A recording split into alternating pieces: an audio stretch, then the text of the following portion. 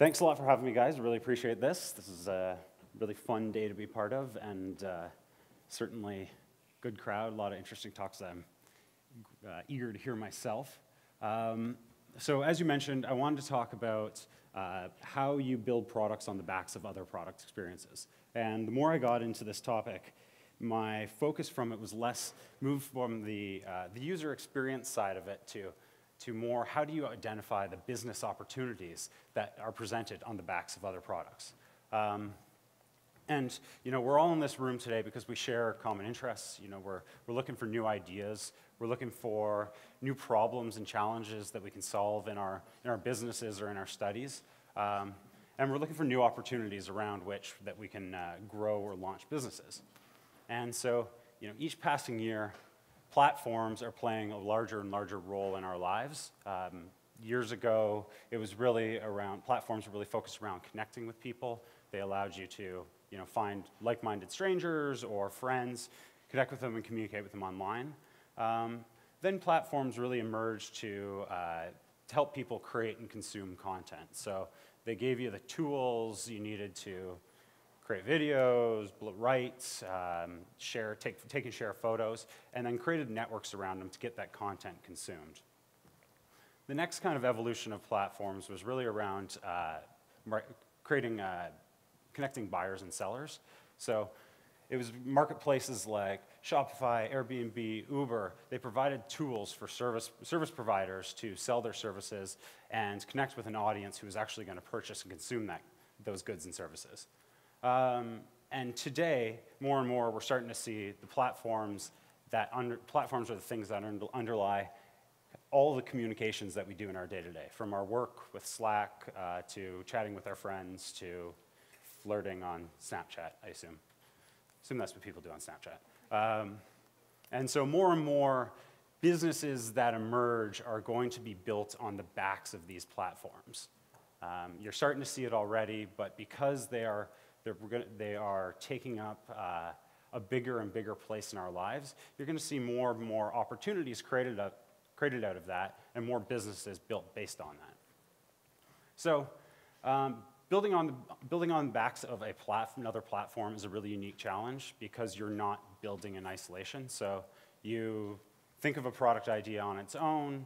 Um, it doesn't have any real constraints about it. It can do or be anything. If you're building on the backs of a platform, it comes with an already set customer base. It already comes with a set user experience.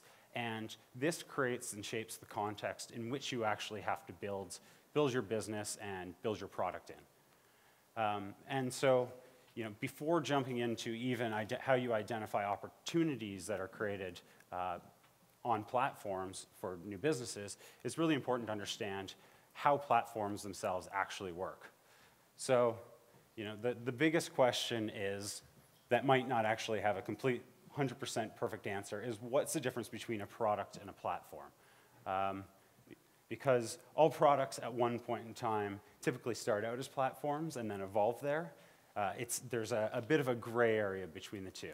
So as it's defined, a product is something that is built and delivered directly to a consumer. Uh, from a bar of soap that Unilever creates in their factory and sells, sells to their customers to uh, a software as a service product, those are all those are all products by definition because it is a direct one-to-one -one relationship between the creator and the consumer.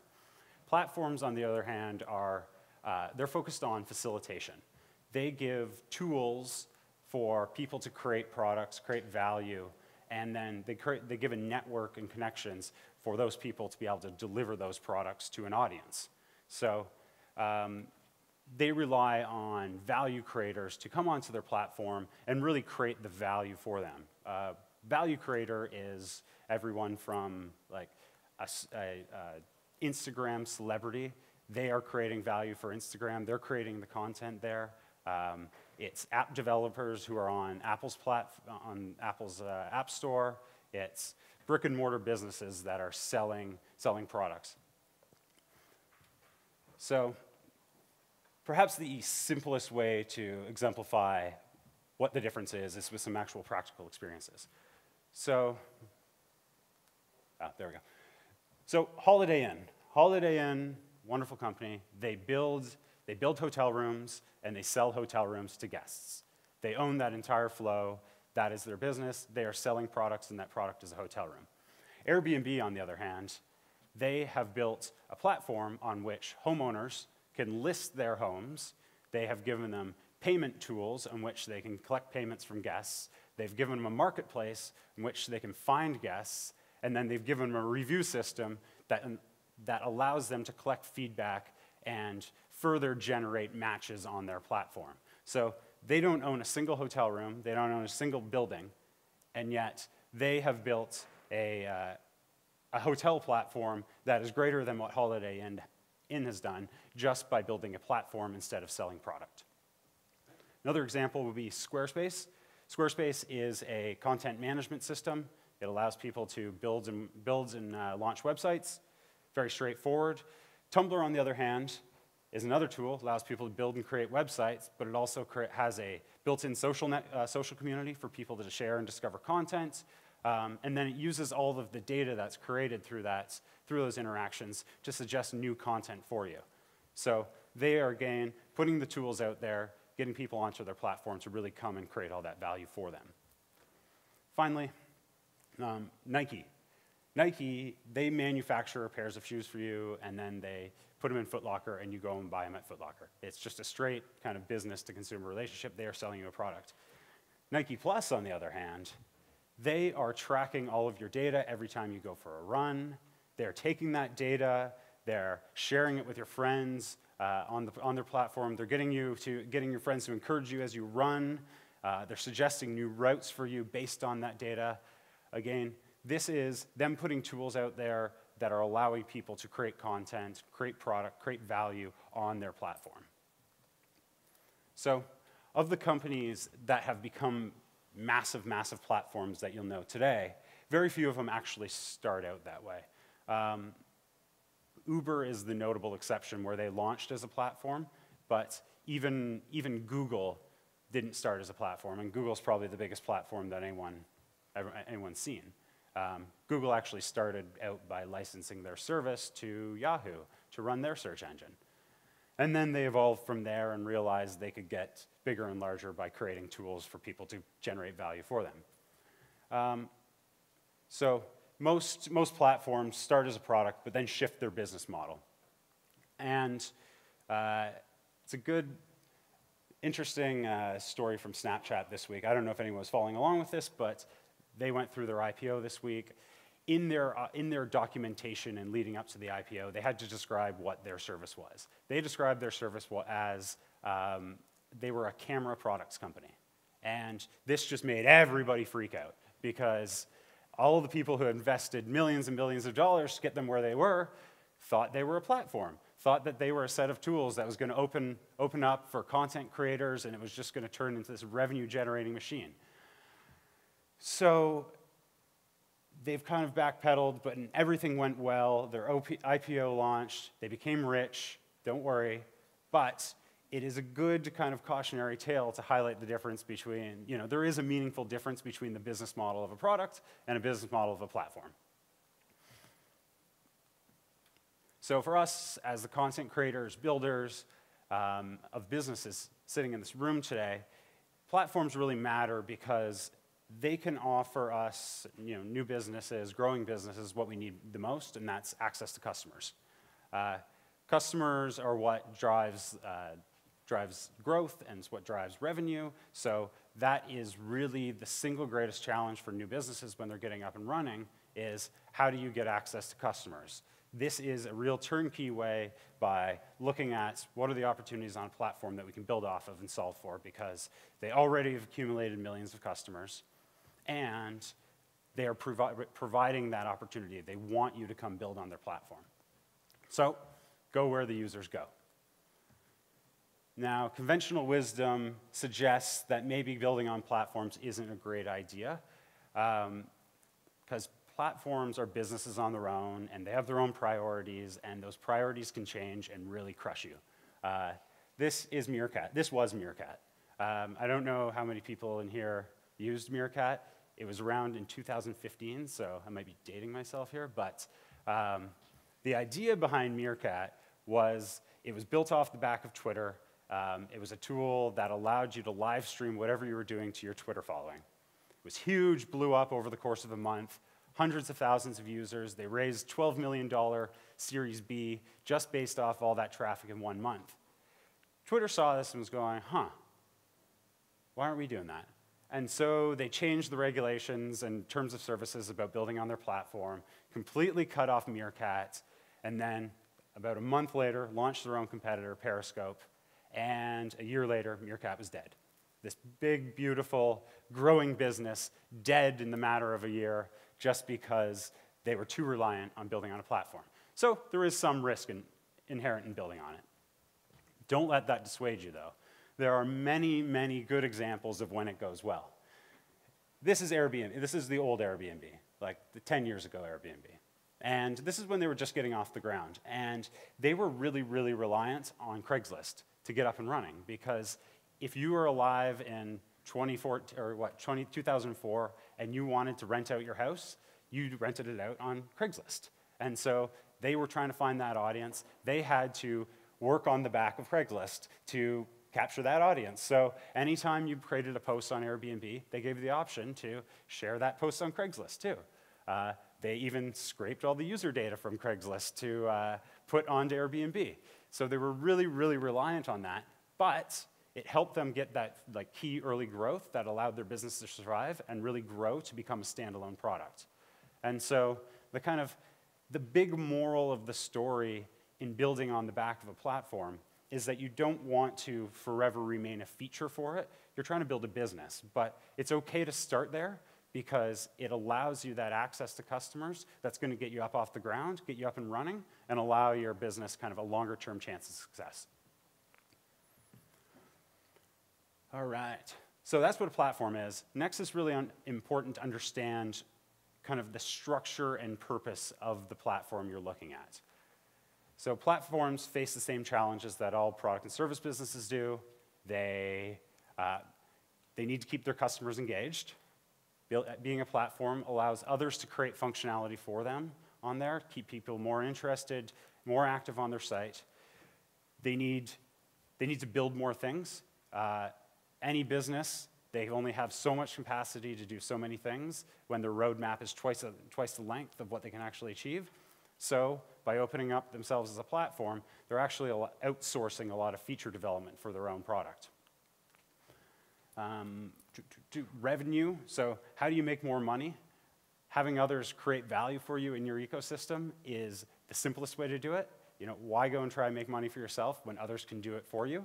By enabling other people to do it, taking percentages, commissions here and there off of the services that go through your platform, they're actually opening up a new, exponentially larger uh, revenue stream than they could ever find elsewhere. A good example of this is the iPhone when it was first released. The iPhone came with 10 apps on it. You could check your stocks, you could check the weather. It was fun. Um, but then they launched the Apple, the, the App Store. And that allowed all the developers, businesses to build products for their phone, and that actually increased their revenue tenfold over just selling the device. So being a product company and just selling a device, to, a phone to customers, that made them a billion dollar business being, opening up the App Store and getting people to build products and services on their back, that made him a $10 billion business. And finally, uh, distribution. So how do you get your product in the hands of more customers? Interestingly, for platforms, opening, up, uh, opening themselves up to new products and services to be built on them allows them to get access to new and different communities because there are niche communities, there are uh, tangential audiences that people will build, build off services for that they would never go for because they're too small. But for them, it is important because it is a new channel to acquire customers. So when you're looking at why, are plat- why do platforms do this, why do they open themselves up, it's for all of these reasons that any business does, but they're just trying to do it at scale. So how a platform is actually structured will give you kind of a clear indication of how they want people to build on it. So there's this great concept uh, by Sangeet Paul Choudary, and it's called the platform stack. It's in the book Platform Scale. I would highly recommend reading it. The concept behind this is this is the structure that every platform is built on. Every platform has it. It just comes in various ratios depending on what the goal of their platform is. So the stack includes a marketplace, network, community layer. This is where all of your customers live. This is where the relationships that they have, all of the interactions that they have between each other. This is where all of that takes place. So on Instagram, this is where the, follow, or where the photographer interacts with the person following with them. This is where the likes happen. This is where the followings happen. It's about having that ecosystem where people can connect and interact with each other. The next layer is infrastructure. Um, these are the tools and services that allow, enable other people to create content, create value, create products on the back of your platform. So again, going back to Apple's example, they developed Swift. Swift is a coding language that allows you to, to build uh, applications for, for iOS. That is, a, that is part of the infrastructure that they have created to allow others on their platform. The App Store itself, that's part of this infrastructure. So it's about putting tools in the hands of people uh, that can do something with them. And then final layer is data.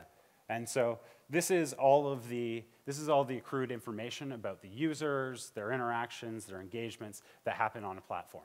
And that is incredibly valuable information because platforms at the scale they're at have such massive data sets that you can actually take that information and build new and interesting things, learn new and interesting things from that data. So every time you go for a run and Fitbit tracks your data, that's actually, that's actually contributing to the Fitbit platform because you're making this data set available for others to build off of it, whether it's new product companies or scientists to take that information and learn about human behaviors. Um, yeah. So every single product, every single platform has the same elephant, elements. Um, they just have them in different proportions. And so, again, based on how they proportion out their different layers of their product stack, you can get a sense of where do they want you where do they want you building on their platform. So looking at Shopify, for example, they have some network effects, but they generally let, uh, they let, generally let buyers and sellers in, interact on their platform all on their own. They don't really moderate that experience any, in any way. At the data layer, they do offer some data up to the, to the store owners based on their traffics and the, the activity on their accounts, but that data isn't made widely available for people to consume. So it's actually this middle layer that, that Shopify really focuses on. They have an app marketplace that they encourage developers to build products for. They have an expansive API on which you can take their products and change them and modify them, build them and grow them and evolve them. They have developer tools to uh, actually allow you to build within their environments because they do have a unique environment of their own. And they have code libraries that helps you get started, get up and running quicker, um, all of these tools are designed to encourage, to make it super simple for people to get up and running on a platform. Now, understanding the structure of the platform on which you will build is going to better enable you to identify opportunities.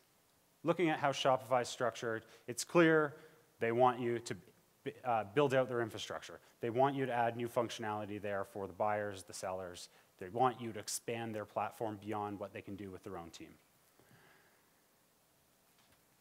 So now that we have a good understanding of how platforms work um, and, and where they want you to add value, how do we identify opportunities that are present on those platforms? So there are a number of tools and exercises that are really great at this. Um, customer journey mapping, uh, customer research, service mapping, all of these things that are really part of a designer's toolkit are excellent for this.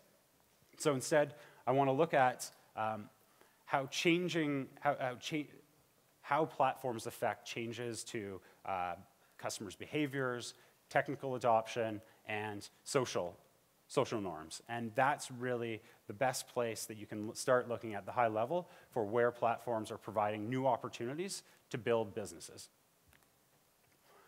So First thing, though, it's important to understand that when you look at a platform, you want to look at both sides of the platform. They, generally have consumers, consumers of content, and producers of content. You want to be building for both. So I know it's sexier to build for the rider in an Uber, uh, but the driver is really the one that has a lot of problems because they have the, they have the largest changing context. They have the largest change, you know, They have new ways of getting paid, they have new employers, they have a whole new career right now, and a new set of competition because UberX is bringing new drivers uh, into the transportation industry. And so platforms can really change the way that both consumers and producers li live in their day-to-day -day lives. Um, the biggest one, or sorry, platforms can normalize new behaviors. So the first one is the idea that you know you like things now. That was not a thing that people did two years ago, or sorry, six years ago. But then you know through Facebook, through Twitter, through Instagram, liking has become just this extremely normal activity that everyone does. They have these platforms have made that a day-to-day average activity. Um, platforms can also rapidly dri uh, drive the adoption of new technologies. So opening up an apps, the Apple App Store suddenly made it the single most relevant uh, platform or channel on which you had to build your products. Every developer switched their attention to building, building uh, iOS apps because that was the new channel and technology that you had to be on. And finally, they can lead to significant social uh, changes to society. And you know, a great example of this is how, how much dating has changed uh, with the invention of Tinder. It's no longer, you're no longer there find, meeting people at bars. You are now uh, looking at a headshot and pressing a check mark. So Uber is actually the best example of uh, a business that is creating this changes in these areas. So I want to just run through a couple quick examples. So Uber has brought the on-demand uh, on-demand economy to the mainstream. So while they were not the first ones to do it, they were certainly the ones that brought it to the majority of people. Um, the ability to order a cab and have it show up within you know, five minutes in your house has given you the expectation that every single service should be as, uh, as quick, as reliable, and as convenient as Uber is. And so after, shortly after it went to mainstream, you started seeing Uber for X pop up everywhere. You had the Uber for chocolates, the Uber for lighting, the Uber for bath bathrooms. All of these things, uh, everyone was trying to create on-demand services because this is a new behavior that people expected. Amazon took this shift and went to the extreme with it. They boiled it down to a single button where it's, I'm out of Heineken, I need a Heineken, I press this button, and Heineken gets delivered to my door. Um, but other, other, other businesses built on this idea in much more meaningful ways. I'm not sure how many people are familiar with Honor, but it's a on-demand service for home care providers for elderly people. And the whole concept that you'd have order a stranger to your door to help your grandmother go shopping uh, was crazy five years ago, but because of our changing behavior, how Uber is really changing our behaviors, we're so much more comfortable with the ideas of strangers delivering these services that we're now entrusting our wonderful dear grandmother into the hands of that stranger to take her shopping. Um, Uber introduced new technologies, so the infrastructure that they created uh, has became the, become the platform for delivering anything in under 10 minutes. They allow you to get anything anywhere in under 10 minutes, and that is what they're really selling at the technology layer. They have made this a default uh, tool in businesses' toolkits now. And this was great for many reasons. Um, some people took it a little too far, though, and Uber is really uh, was adopted by the drug dealing industry as the default way to get your product shipped.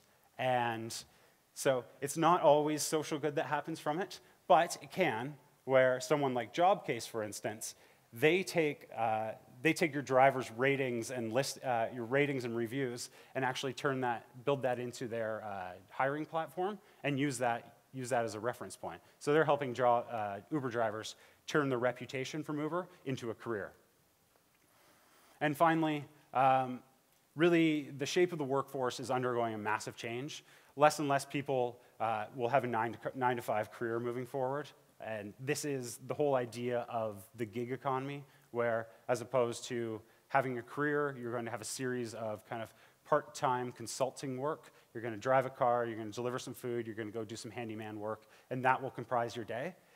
And whether it's a good thing or not, it's happening. And Uber was really the one that drove this behavior change. And what you're seeing as a reaction to that is new businesses popping up because of the opportunity that creates. These people who once had nine to five jobs, they had 401ks, they had health benefits, they had, uh, they had retirement plans, have those things no longer because they are just independent contractors. So businesses are starting up to, uh, financial services are starting up to support drivers, to support Airbnb hosts, to support uh, Uber Eats delivery people, to give them 401ks, to give them, uh, to give them financial services. So it's interesting to see that this social change that's happening is really driving this whole new industry of services for, services for platform providers. So just a quick recap. Um, platforms do represent a huge opportunity um, as a starting point for us to uh, build new businesses. Understanding how a platform is structured lets you identify where they want you to be building on it. Identifying opportunities that come from the identify opportunities that come from the behavioral shifts, the technology shifts, and the social shifts that these platforms are creating to really find a great starting point around which you can build a business. And from that, we can identify many new great opportunities that we can all build businesses off of. Thank you very much.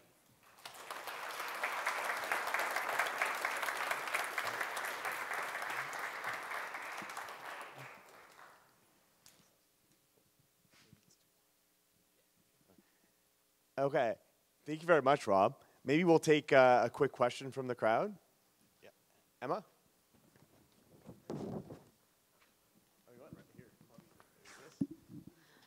So that was really interesting. Thank you so much. I wanted to ask from the perspective of business owners, because you touched upon this from the perspective of the employee, what are the key implications for that tweet you put up at the beginning, meaning that new businesses are coming into something like Y Combinator, mostly offering a platform now. So, what would be the key implications for the business owner mm-hmm. of either creating that platform or owning that platform already?